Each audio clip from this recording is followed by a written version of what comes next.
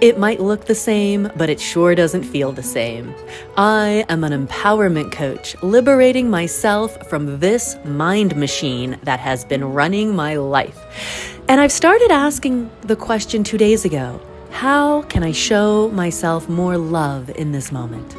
What is the most loving thing I could do or not do to show myself love right now? For two days, I got the same response I always get from my mental construct you need to work. You need to do something to make money. But I'm beginning to see that is a false belief. Working, working, working isn't a loving act. And so, on day three, I am asking the question and new ideas are occurring to me. And from those new ideas, I have begun to take new actions. It may look exactly the same, but it feels entirely different. What is the most loving thing you can do for yourself right now?